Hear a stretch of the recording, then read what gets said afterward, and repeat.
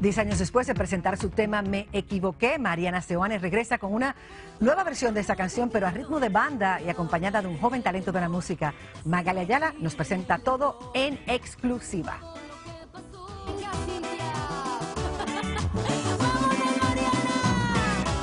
Un bar en Guadalajara, Jalisco fue el escenario ideal para que Mariana Seoane y Cintia Rodríguez filmaran el tema Me equivoqué a ritmo de banda. Va a seguir siendo un talismán para mí hasta el día que deje de respirar seguramente. Me equivoqué, me equivoqué, me equivoqué, me equivoqué, me equivoqué, castígame. ¿Por qué no compartir lo que para mí ha sido tan valioso con ella que se lo merece? El video nos envuelve en el delicioso ambiente nocturno de los antros, donde Mariana y Cintia parecen emerger de la fantasía con atuendos entallados y las transparencias que ponen a volar la imaginación de cualquiera. La canción emblemática en la carrera de Mariana se convirtió en un talismán no solo para la niña buena, sino también para Cintia, a quien en los albores de su carrera el público mexicano le pedía la interpretación. Y ahora, gracias a la idea de Mariana, podemos ver juntas a estas bellezas. No es difícil cuando las dos se respetan, cuando las dos se admiran, cuando no hay envidia, ¿sabes? Como que eso fluye totalmente, ¿no? No fue un montaje de coreografía, lo quisimos hacer mucho más orgánico, lo que nos iban haciendo.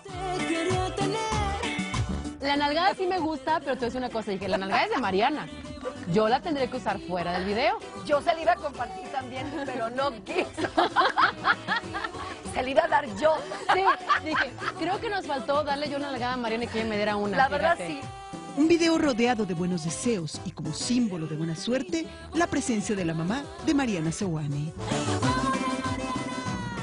Bueno, y esa nalgadita que ustedes seguramente quisieran ver, la van a poder ver cuando ellas canten juntas porque pretenden hacer una gira y déjame decirte que lo más importante es, de verdad, me encanta ver a gente, a mujeres con deseos de salir adelante porque ellas están a favor del empoderamiento de la mujer, que no solamente sean los varones los que se escuchan en la radio, sino también las mujeres.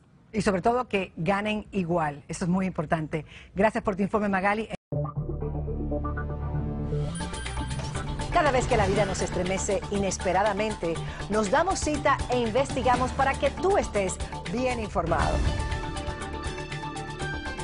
En el Rojo Vivo estamos conectados con nuestra comunidad, con sus necesidades y sus urgencias.